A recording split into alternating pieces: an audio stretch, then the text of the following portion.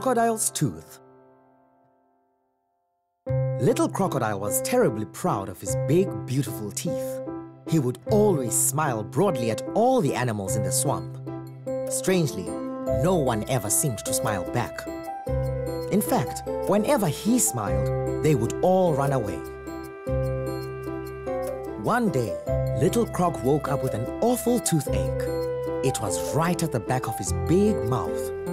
He shook his head back and forth and tried fiddling at the tooth with his tongue, but nothing helped. Although he was very hungry, he couldn't eat a thing. Oh dear, said his mother that evening.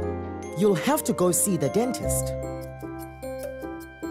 Little Croc couldn't sleep that night. He had never been to the dentist before. What if he's big and scary and mean? He worried. What if it hurts? Early the next morning, Little Croc swam downriver to get some help. First, he came upon Hippopotamus basking in the morning sun. Little Croc tried a smile. Hello, Mr. Hippo, he said. Could you please look into my mouth?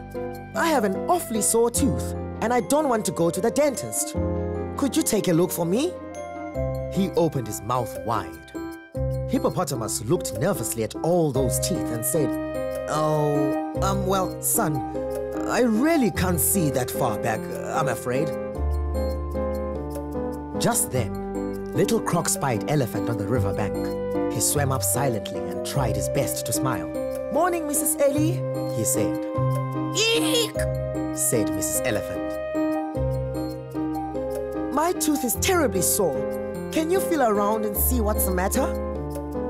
Little Croc opened his mouth as wide as he could. Elephant took one look at those gleaming teeth and said, Well now, dear, I couldn't reach all the way back there. I'm sure you can reach, said Little Croc. Just stick in your long trunk. No, dear, said Mrs. Elephant firmly. You'll have to go and see the dentist. Little Croc really, really didn't want to see the dentist. He was still sitting there looking worried when his little friend Plover flew by. Hello, little croc, Plover called. Where's your smile today? Hello, Plover, little croc mumbled. I don't feel like smiling at all. My tooth hurts and everyone says I have to go and see the... the... Oh, I can't even say it. He's big and scary and mean and I don't want to go see him but my tooth really hurts and I haven't eaten a thing all day. And, and if Hippo can't help and Elephant can't help, then that must mean it's serious. Well, little croc, that's not necessarily so, Plover said. Did you ever think that the other animals might just be too scared to help? No offense, your smile does contain rather a lot of, uh, teeth very shiny, very sharp teeth. Oh, Little Croc thought about this. I suppose it does, but if everyone's too scared to help, then I still have to go to the... Well, Plover interrupted gently. I'm not scared of you.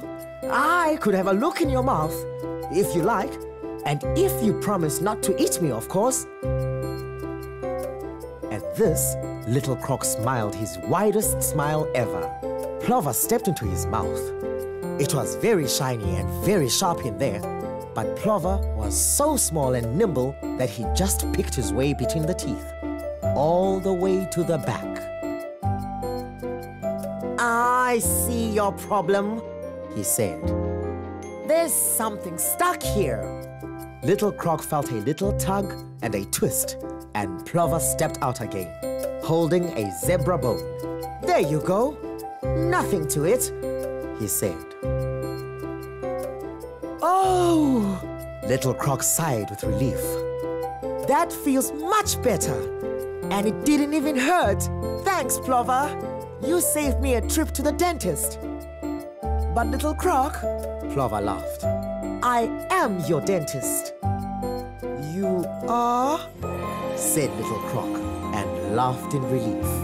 And now, Every time Little Croc goes to the dentist, he grins a big, big smile.